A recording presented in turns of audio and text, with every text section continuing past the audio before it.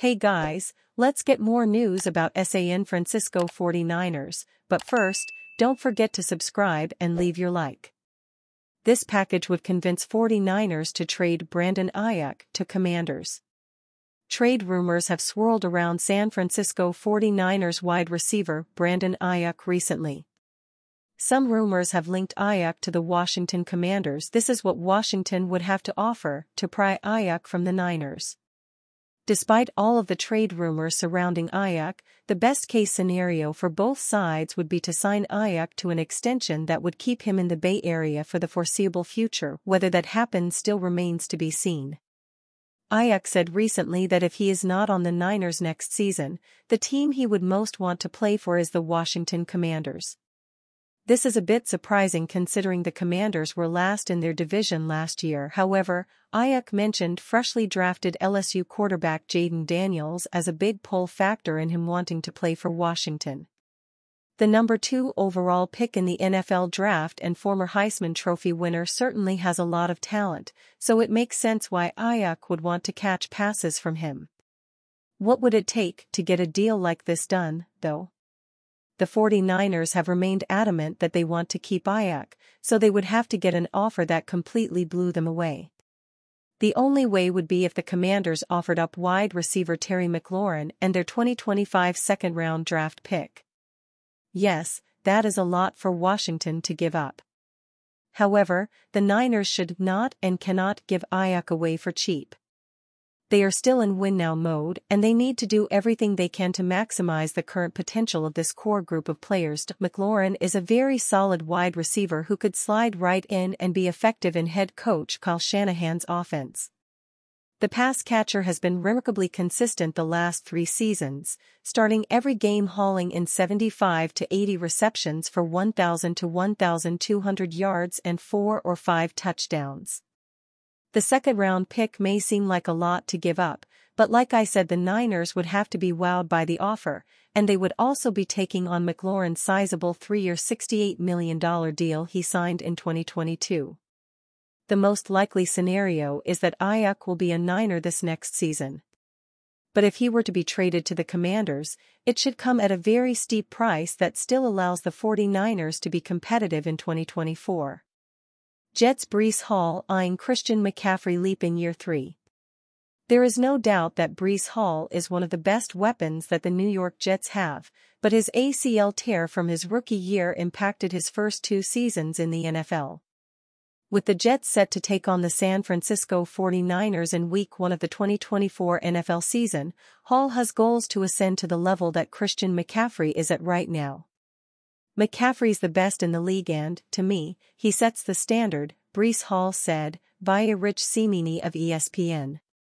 We're going to see him week one, and we're playing against some of the best linebackers, so for me it's exciting just to see where I stand and really let everybody see my full talent now that I'm healthy.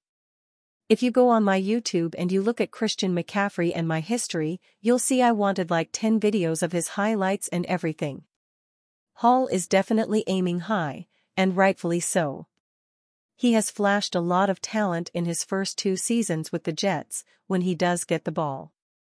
Hall made a huge impact in his rookie season before suffering his torn ACL on the road in Denver against the Broncos. It took him a while to build himself back up, but he was just under 1,000 rushing yards on the season in 2023 as well. Now, entering his second full season after the ACL tear, Hall feels back to normal. I feel like I'm back to my old self, Hall said, via Cimini. Hall will undoubtedly be a big part of the Jets' offense this season. Aaron Rodgers will have Garrett Wilson and Mike Williams to throw to, with Tyler Conklin being a solid option as a tight end as well but coming off of a torn Achilles, it will be helpful for Rodgers to have an explosive back like Hall to take the pressure off a bit. Expectations are high in the building for Hall. I don't think people realize or appreciate the road it takes to recover from an ACL, Jets coach Robert Saleh said, via Cimini. Breece really wasn't full Breece until right around the midpoint of the season, and he was still producing. This will be take two with Aaron Rodgers for the Jets, who had huge expectations last season, but lost their starting quarterback to a torn Achilles on the first drive of Monday Night Football against the Buffalo Bills.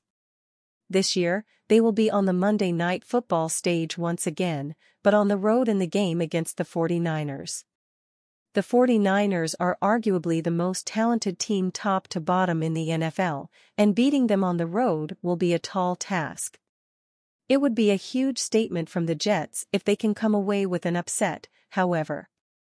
It would show that New York could compete with the most talented teams in the NFL. Health will be a key for the Jets, but on paper, they should be a very competitive team this season. Batko on Brandon Aiyuk's mentality for Steelers, I'd come in as top dog over George Pickens. Brandon Aiyuk may have mentioned the Pittsburgh Steelers by name, but I wouldn't rush out for that black and gold jersey. The San Francisco wide receiver still handicapped his future team in favor of the 49ers. He even named the Washington Commanders ahead of the Steelers. But the case for Pittsburgh remains alive, perhaps for both sides, certainly for Aiyuk, unless it's just a bargaining chip. Anywhere he goes, Aiyuk knows he is going there to be the top target if he leaves. He probably holds that role in San Francisco, but he has to share a lot there. They are already paying Deebo Samuel, and they just drafted another wide receiver in the first round.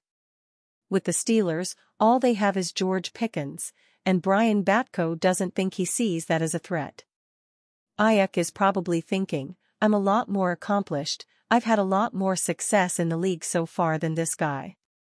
I'd come in as top dog right away, probably get paid, and have a nice little tenure here, he said on 93.7 The Fan yesterday. Over the past two seasons, Brandon Aiyuk has caught 153 passes on 219 targets. He has recorded 2,357 receiving yards with 15 touchdowns. In comparison, George Pickens has caught 115 passes on 190 yards. He has recorded 1,941 receiving yards with 9 touchdowns. You can compare and contrast their offenses and quarterback situations, but neither Pickens nor Aiyuk have been ideally set up to succeed. You can argue that Brock Purdy is the best quarterback of the lot, but the 49ers don't throw the ball. They literally finished 32nd in the NFL in pass attempts, yet fourth in yards and second in touchdowns. They rely on high efficiency play, averaging 13.6 yards per reception. The Steelers averaged 10.6 yards per reception, for comparison. The Steelers obviously have a high opinion of George Pickens, empowering them to trade Diontae Johnson. But they probably do think that Brandon Aiyuk is better, or at least more reliable from play to play. Both are very talented, but Aiyuk clearly has the more impressive resume, in twice the time, granted. That's the issue with making this trade for the Steelers, because it's essentially committing to Aiyuk over Pickens. Unless the Steelers are willing to pay huge sums to two wide receivers, Pickens is likely going to leave after 2025. And what if he develops into a top wide receiver by then? Pickens clearly suffered from the quality of quarterback play the last two seasons, primarily with Kenny Pickett. The Steelers turned over the entire quarterback room, led now by Russell Wilson. But how do we evaluate the impact of Brock Purdy on Aiyuk's numbers? How do we quantify the Kyle Shanahan system versus the Matt Canada calamity? And you fan? What do you think of the situation of Brandon Aiyuk? Leave your opinion in the comments.